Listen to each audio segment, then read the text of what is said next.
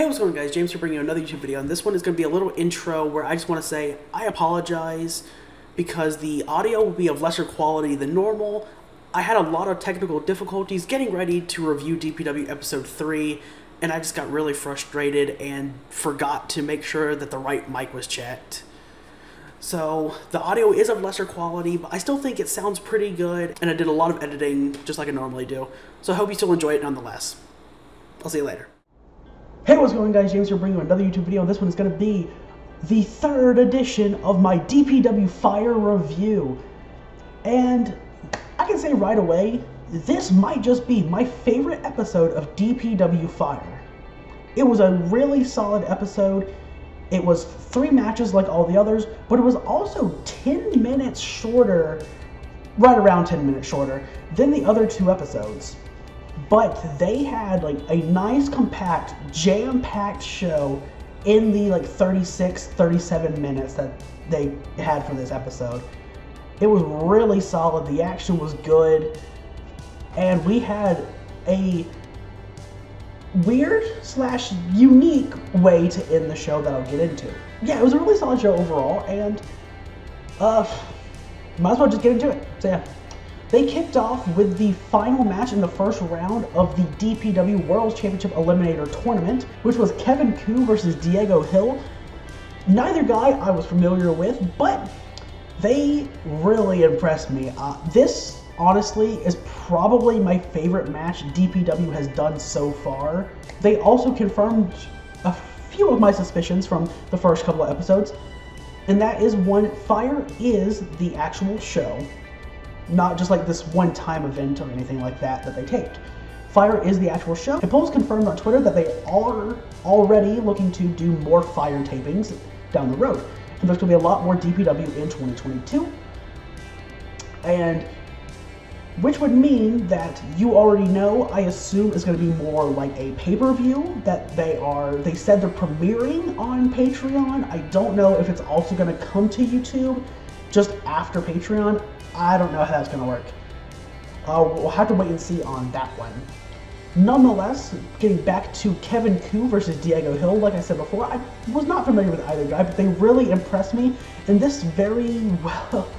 And this easily could be my favorite match that DPW has done so far. It was really good. Um, that's absolutely a biased answer though, because they play to what I like in wrestling way more. I still think Andrew Everett versus Rosemary is the best match they've done so far, but that's to be expected when you have two people who are as experienced as Andrew Everett and Rosemary are.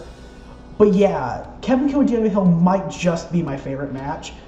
And of course, they also showed us the bracket right before this match got underway. We of course know that Calvin Tankman is going to be facing Andrew Everett in the second round. And we know the winner of this match between Kevin Ku and Diego Hill will be facing Bojack. Like I said, this match, it played to what I like in wrestling a whole lot more.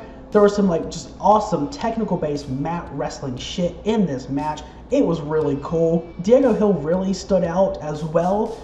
He had some more like strike based, fast paced offense. There's a really good sequence early on where Diego stunned Kevin, not, had him roll to the outside. Then, as he got the crowd hyped up, he hopped to the apron, Kevin tried to lay him out. He did a handstand on the apron, which was sick as hell. And then he got off quickly, uh, did almost kind of like a 619 type of rotation and kicked him in the face. And there was some other cool stuff. There was a really nice running drop kick while Kevin Ku was placed on a chair on the outside. That was really cool. Again, we saw some really good technical based uh, and submission wrestling from Kevin Ku. After that drop kick, um, on the chair, which Kevin Ku had a really nice sell for, by the way. Like, it was really good. But after the dropkick on the chair, Diego got Kevin back in the ring. Took a little too much time to get in the ring, which allowed Kevin to grab him by the leg and hit a dragon screw leg whip, using the ropes for extra damage. And that's when he Kevin really got into the match, using the technical based stuff, the submissions, and he looked really good uh, using all of those. At one moment, he had like a really nice leg lock that then he completely disrespected Diego by sitting on him, and then he grabbed him, rolled through into a bow and arrow, and fully rotated. Later on, Diego got back in the match, got him down, jumped from the top rope, hit a beautiful splash, and the only thing that saved Kevin Ku was a foot on the bottom rope, which was very nicely done. Then later on, after a kick out by Kevin Ku, he was able to quickly grab the leg, turn it into an ankle lock. Diego tried to fight, got back on his feet, but his legs were immediately taken out from underneath him, in which he was rolled over and Kevin Ku grabbed a heel hook. And when it looked like Diego was going to try and reach for the ropes, Kevin Ku just started kicking him in the face with the heel hook locked in, and he was forced to tap out. Again, it was a really good, solid opening match. I really enjoyed it. Again, I think it's probably my favorite match they've done so far. And then after that, they of course had their usual spot for ad reads and sponsors. After that, they went into Raychell Rose versus Kat Spencer, some more women's action. And this one, it was good like a lot of the matches that DPW has done so far, there was a very clear babyface and heel dynamic to the match. Raychell being the heel and Kat, I guess, being the babyface. She didn't really do anything to be a babyface, but Raychell was very clearly a heel. Kat looked very good early on, was able to outpower Raychell Rose using that power advantage, get some good stuff in, hit a cool, unique backbreaker where she dropped Raychell on each individual knee, which was cool, and then just kind of tossed her. But the match was short compared to the honestly kind of longer opening match. It was the downfall of Kat Spencer when Raychell raked the eyes, got Kat in the corner. She quickly grabbed the leg, used it, locked it with the ropes for a leg lock, and then rolled through, went off the ropes, and drop kicked the knee, which looked very good. And by the end of the match, it ended with her finisher bend the knee, which a lot of people may know as Adam Cole's last shot. But nonetheless, it was a shorter match, but it was a good women's match. They told the story they needed to tell, and it worked. And then we had the main event tag team action. From the curtain, we saw Chris Danger appear, smug look on his face. Chris is so damn good at playing a heel, it is unreal. And it was actually kind of funny because, like, at first, Chris comes out the crowd starts cheering and then immediately just go boo as the reality follows Chris out of the curtain. And the reality, the NDA,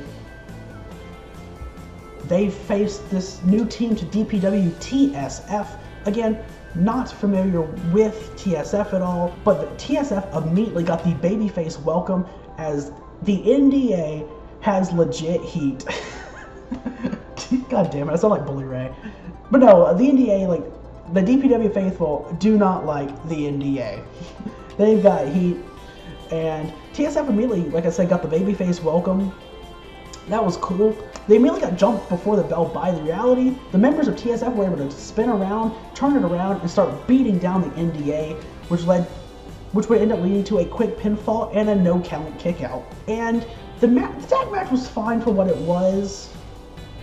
Like both teams looked good. The reality looked really good using tag team fundamentals and isolating a member of TSF. But Hunter Knott of TSF, he got tagged in for the hot tag and he started clotheslining the reality like goddamn crazy. It was absolute insanity. But clothesline after clothesline, taking him down. But eventually, the referee got distracted as Patrick of the Reality tried to knock a member of TSF off the top rope and into the referee. The referee able to get out the way. Referee was then distracted by Patrick. Chris actually came in, low blowed. I want to say Hunter Knott was still in there. And then hightailed it out of the ring, which led to a sunset flip after the low blow. And Chance Riser was just sitting there, big ass smile as he had the pin, got the win. And I assume that was purely intentional uh, to leave the crowd feeling kind of you know, cheated, robbed. They didn't get the full experience in the match. I assume that was intentional. And they were chanting bullshit. They were chanting bullshit. The reality, were beating down TSF before out of nowhere you had Luther from AEW and of course, well-known listener of De- the Deadlock podcast. Luther ran out, saved his boys, tried to leave when Chris grabbed a mic and he started just running down to Luther, and he had like, honestly, Chris had a great line for Luther. I'll work it into the video. Here, move Luther, you ugly piece of trash. I have.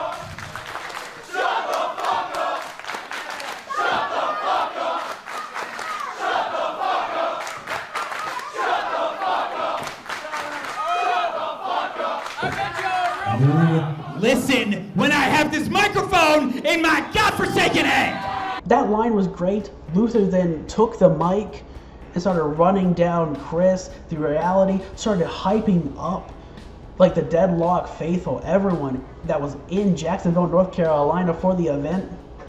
Really started just hyping everyone up. Essentially started a riot as they uh, titled the video. And just everyone chanting DP dub, DP dub.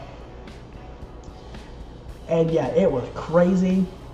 And I think Luther uh, cut a good promo too, but I think their absolute standout here in this whole main event segment was Chris's promo work specifically with the crowd, especially at the end after Luther left and the crowd was still chanting DP dub surrounding the ring. Like there was this one spot where they were chanting "Shut the fuck up" at Chris, and Chris's reactions and the way he cut that promo was so fucking good. I have places to be. We have places to be. Uh, security. Y'all even got security in here? How about y'all do something? How about y'all do something? How about we get rid of these idiots around the ring? How about we get rid of all these idiots here? You wish. Never gonna happen. Ain't happening. Won't happen. Ain't happening.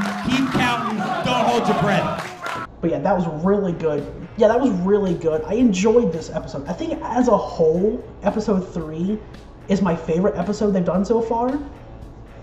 But I still think the best match they've done is Andrew Everett Rosemary, as I said at the start. But again, that's to be expected. They both have so much experience. But I think my personal favorite match is Kevin Ku and Diego Hill.